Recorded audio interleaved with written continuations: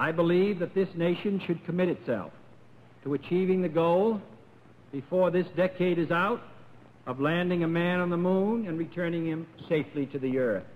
In 1961, President John F. Kennedy delivered a speech urging Congress to make putting a man on the moon a national priority. But as private recordings reveal, by 1963, Kennedy was concerned that Americans might be losing interest in the space program. And in a closed door meeting with NASA Administrator James Webb, he struggled to figure out how to win it back.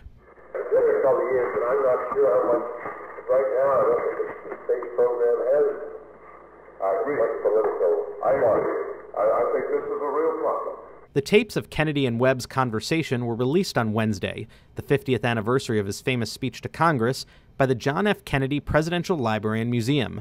So he meets with Webb, who is the administrator of NASA, to try to come up and formulate a plan to sort of promote this interest and also to broaden the perspective of it that it's not just going to the moon and back, but that the race to the moon is an umbrella of a bigger issue. In the recordings, which were made in the White House on September 18, 1963, Kennedy worries that the public might balk at the high cost of the space program, so he suggests presenting the project in terms of national security. We've got to wrap around in this country a military use for what we're doing and spending in space. Because if we don't, it does look like a stunt and too much money.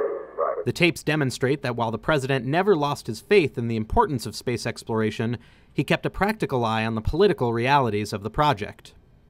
uh, I think this can be an asset, this program. I think in time, it's like a lot of things. It's sort of mid-journey, and therefore everybody says, what the that's hell are we making this trip for? That's right. But uh, at the end of the thing, they may be glad we made it.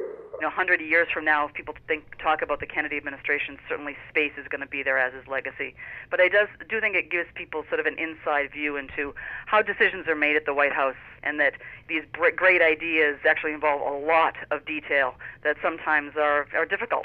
Additional excerpts and transcriptions of the tapes can be found at the John F. Kennedy Presidential Library and Museum website. This is Brian Stillman with the New York Post.